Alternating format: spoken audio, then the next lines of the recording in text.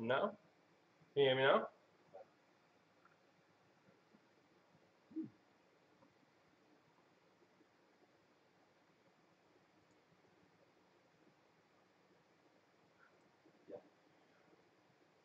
Like, yeah, that one you did before, it's just come through, it takes a while. Okay, so it works, yeah?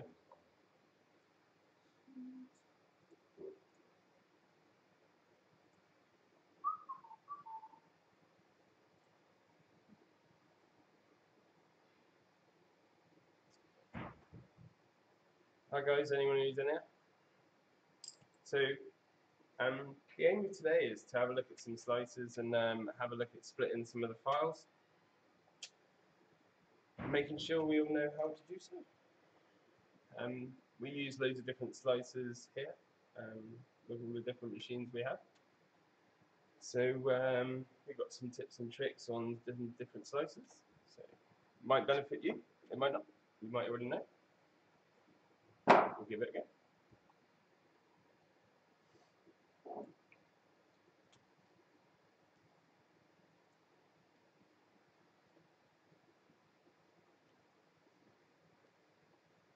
Let's wait a minute or two for some people I know to come in.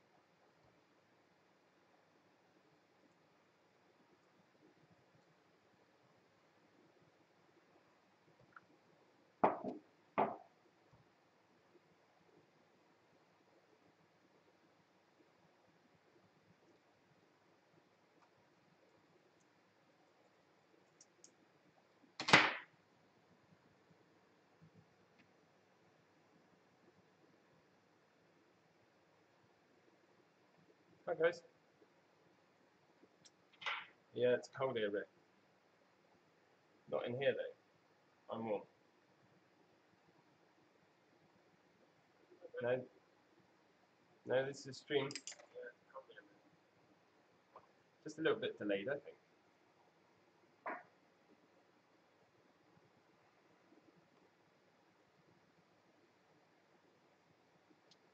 Probably, I'm just trying to keep my hair under control, Rick, to be honest.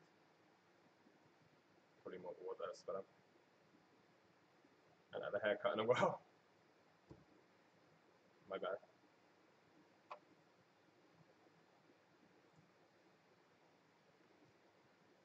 Max has done a nice um, video which I'll show as well on um, using some other techniques to uh, make make dual color files. So I'll be playing that as well just after we go through some bits.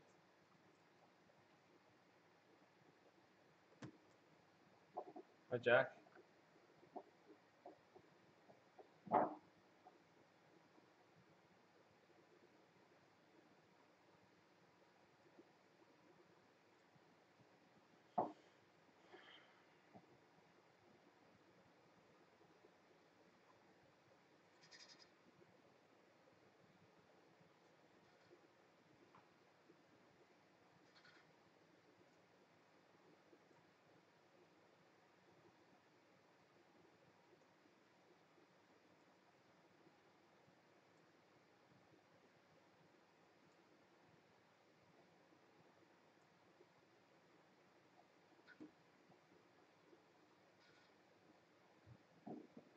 Hi Brownie.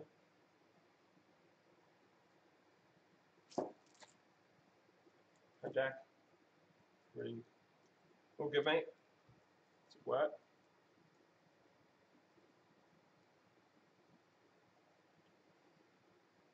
You at home?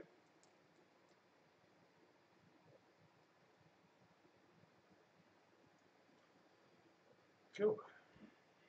Right.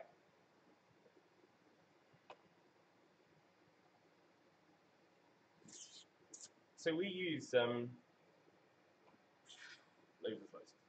Um, particularly, what we're going to look at today is craftware, 3DGence, Idea Maker, and Simplify 3D, and how we can use them to do some stuff like you can see here. So, what I've started with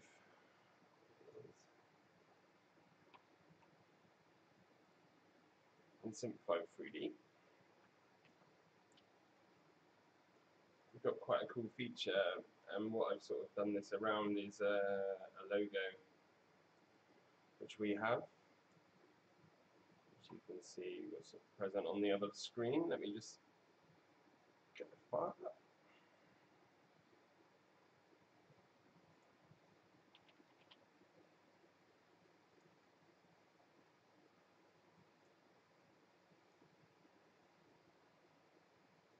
So Simplify 3D at the top here has an add-ins um, convert image to 3D. So you can't see the bit I'm doing now because I'm browsing through some files, but I'm selecting a JPEG uh, from my from my desktop, and I'm just creating it in with the auto-generated settings. It gives you a place to save it, just as you import it. So what we've done is we've made a logo stamp from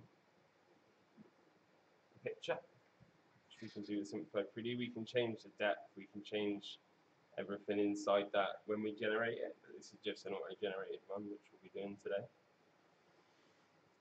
So because we've got that file, and because we've just made that file, we can then take that into any slicer we sort of need to.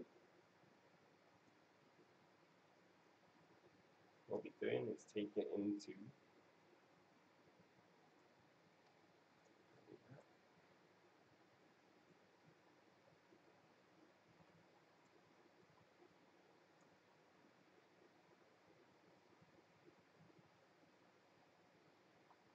argument.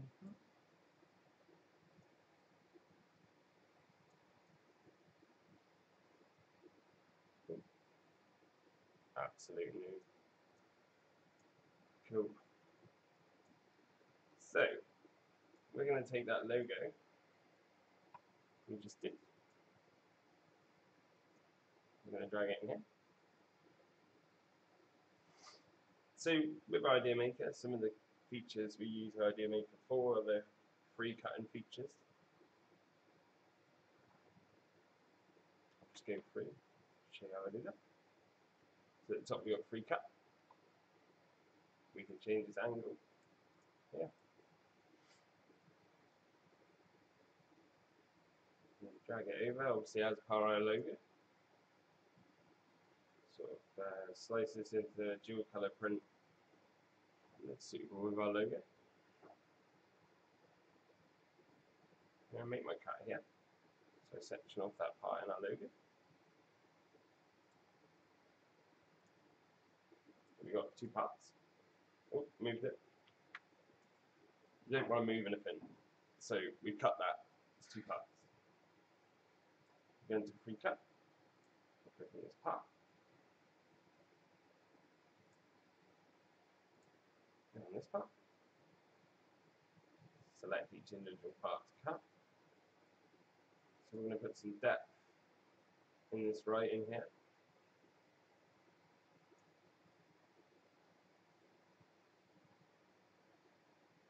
We just want a little bit of colour on that backdrop, make it stand out. So now we've got three different parts. Why I just did that?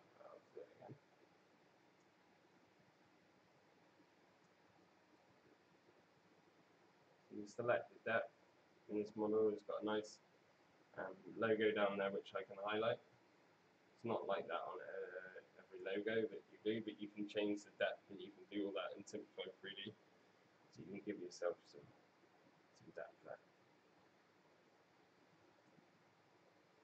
Okay, so now we got our three parts. We're going to export them. Again, it's file, uh, you might not see this on the screen here, um, but it's file export model. To select the model we want to export.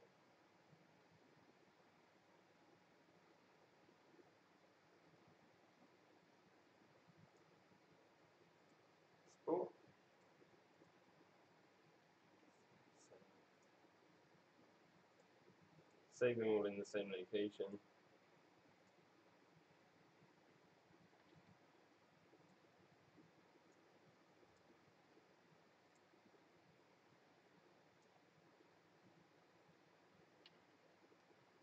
Like so. So in what you can't see there is, I'm not sure why it doesn't let me do that, maybe I'll find out soon. If I go into File, um, Export Models, you can export models to, to a desktop or wherever you want to do documents. Max will tell me off there using my desktop. Um, once we've done so, um, because we didn't move them after we cut them, when we export them, we're going to be exporting them into the same location um, on a build bed as what they were when we cut them. So if we move these into Craftware now, our three files that we just made, switch, I'll get used to it soon. Yep.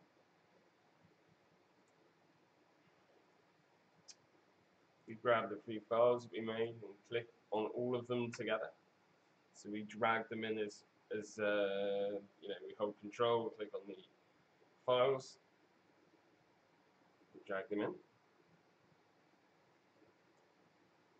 So this has already done some, it's already done a little bit for us already because when we drag in multiple objects into Craftware, it will assign them a head.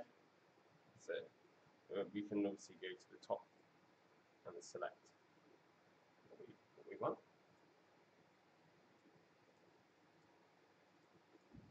Yeah.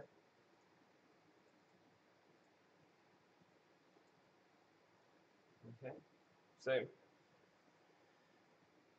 cutting files and taking them apart um, and mixing them together. Um, if you try and sort of stitch two files uh, or merge them like this and you slice it and it looks okay, the chances are it won't be. Um, and the head will sort of uh, repeat itself over the same same part twice and cause some cause some grief. So if you're cutting the files up, then it's quite useful to uh, to, to to keep them in the same place when you're exporting them from Idea Maker or another program. If, if, if it does it and you, you know how to do that, then um, it's quite handy to do that. Um, but we can cut. We could have cut this into as many uh, as many pieces as we want. So we could have had a different uh, shade as we have done on the 3D there. We could have had that on the J Supplied logo. The J Supplied logo could have been deeper. So that would give us um, a few more options that we sort of didn't use. Um, okay, so a sort of, I mean, you can do that with on angles, various angles, um, which is really handy um, into an object. Um, you can remerge the files in, in Idea Maker as well, so if you want to merge them, you can. Um, but yeah, that's re really quite handy. Um, just a way, uh, another way of cutting some files, which we we've seen quite a few people uh, interested in. So if I go on to, this is called 3DGence. a manufacturer of 3D printers and this slicing software works with their machines. However, it's free um, and you can download it. Um, you can import things into this program and export them. So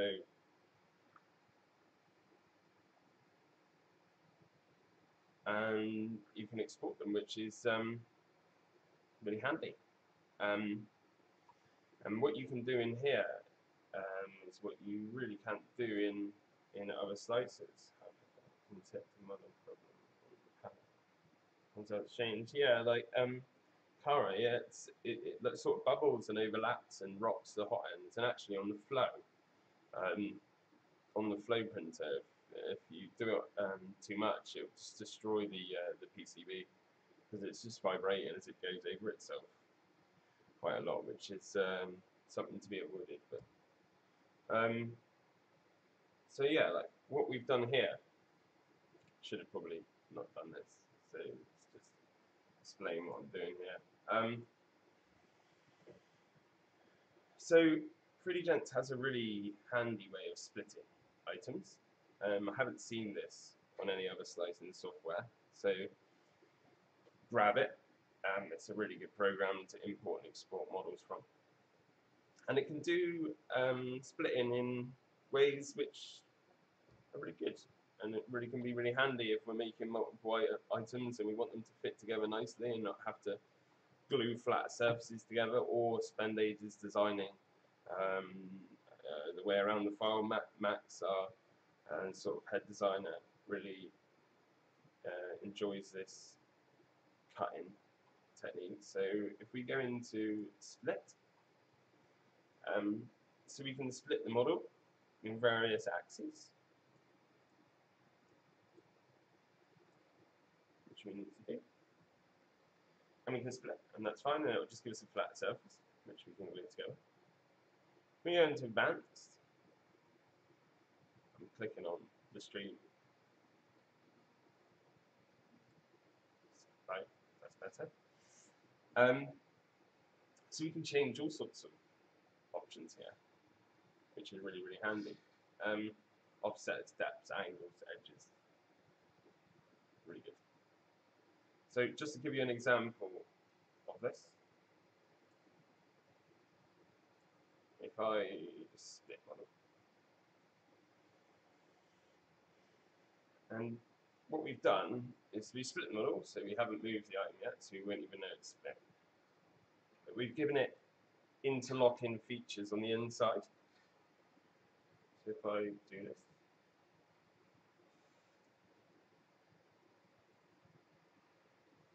what we've done here is we've given it some really good interlocking parts, which if you're building something of size, um, to just drop a file into a slicing program and be for it to be able to do that is um, really handy for me. I hope it's really handy for you. Um, not everything that we want to print can fit on our build beds, even though that we can do up to like a one meter size.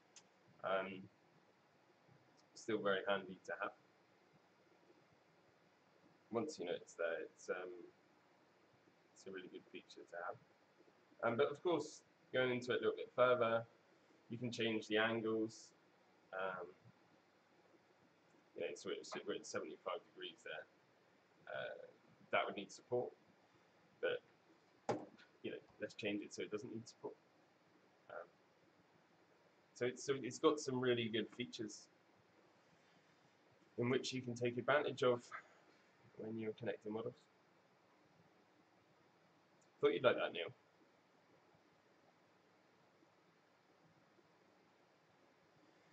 Right, I've got a. Uh, I hope that answered some questions. And if you need to know any more, just let me know. But um, I've got a video here that Max has done um, for using some other some other features and some other ways of uh, in some more advanced ways. Let me just grab this uh, video. Let me know if it doesn't work. So I'm going to quickly show you how to split up models for dual color printing on Mesh Mixer by Autodesk, which is a free bit of software, which is extremely powerful and useful for stuff like this. So import their bunny, which is a base model. Um, it's broken at the bottom, so before I show you how to split it up, I'll just get rid of that like that and close the mesh. So the way to do it is to take the select tool, which gives you a brush. Um, you've got different types of brushes here. I just use the default one, and you select the parts that you want to split from the model. So I'll quickly split up the head on this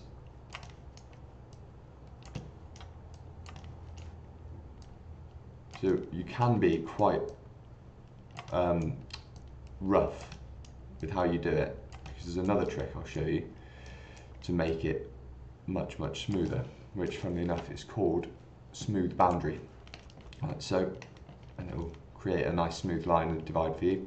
So you can just accept that. Then the orange bit is the part that you've selected. So what you do is you go into modify and create face group. And now as far as the um, software is concerned, these are two separate surfaces. So what you then do is go to edit and generate complex and it recognizes these two separate parts. And what you do is you double click on the boundary and you'll see like a little grey bit appear there which is where it's closed the mesh or added an extra wall in it. So you accept that. You've then got a complex mod so you can delete the old one if you want and you're just left with this one. Then use edit again, we're going to select it, edit and then split complex and what it's done there is it's divided these into two separate bits. So again, we can delete the old one because we don't need it. And we've got the head and the body. So what you then do is select one, export it to wherever. So I've done this before already, so I'll just replace that.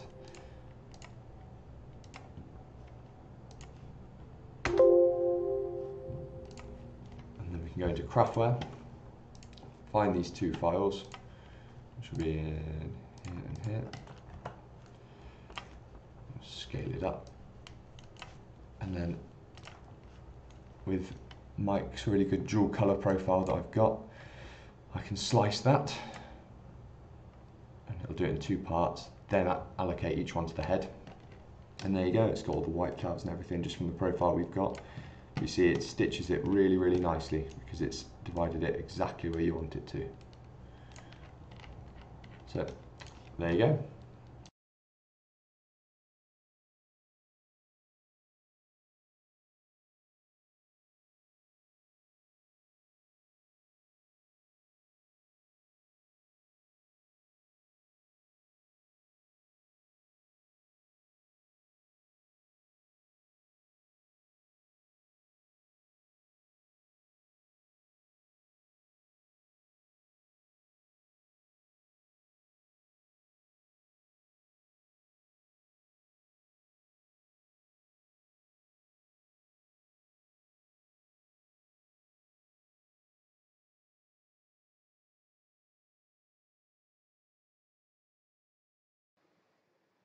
Damn it.